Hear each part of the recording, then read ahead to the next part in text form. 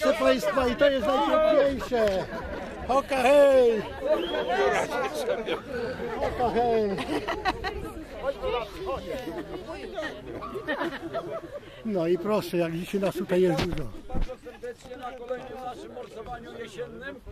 Jesień w pełni, zima nas lekko nas spotkała w takiej temperaturze minusowej.